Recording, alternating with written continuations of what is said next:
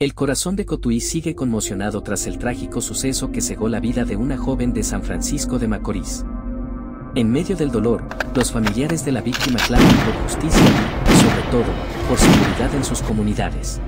Eh, queremos que se haga justicia y que la chica hable y que diga quiénes más participaron en ese hecho, porque nosotros sabemos que ella sola no lo hizo que por favor, que ella hable, porque esas personas andan sueltas eh, y las autoridades no nos han brindado a nosotros ningún tipo de protección.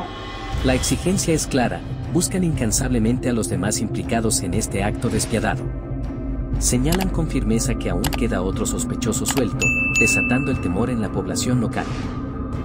Que ella hable, que no se quede así, porque fue un hecho demasiado atroz que ella cometió con mi sobrina y, le pedimos justicia, pedimos justicia y que ella, que ella no cargue ella sola, porque ella sola no lo hizo, que ella confiese. ¿Quién había comentado ustedes que iban para allá, para esa zona? No, no, ella fue y sacó a mi sobrina de mi casa, de su casa, ella fue y la buscó a la casa, a mi sobrina. La acusada de este crimen ha dado un paso al frente y se ha entregado a las autoridades. Como resultado, se le ha impuesto tres meses de prisión preventiva. Sin embargo, para los familiares de la víctima, esto no es suficiente. El celular de mi hija no aparece.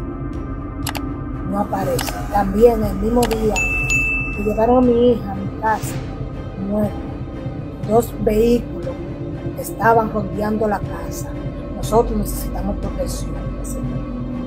Para pasar un rápido, dos, uno azul oscuro y una blanca por mi casa rápido, cada tres, cada tres minutos pasamos.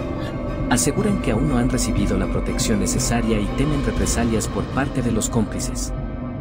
En un grito desgarrador, los familiares hacen un llamado desesperado al presidente de la República y a su esposa, solicitando apoyo y resguardo ante esta situación tan dolorosa y angustiante.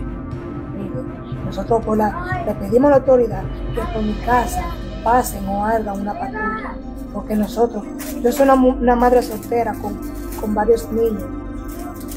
Yo no puedo estar sin defensa porque no se sabe si hay una persona que quieren seguir. Tomar represalias. Tomar represalias a sí mismo. Por otro lado, el respetado periodista Ramón Tolentino ha arrojado luz sobre este incidente, revelando detalles que ponen en duda la participación exclusiva de la acusada y exponiendo los posibles motivos que podrían haber desencadenado este ataque. La comunidad espera con ansias respuestas claras y acciones contundentes por parte de las autoridades en busca de justicia para la joven fallecida y seguridad para todos los habitantes de Cotuí.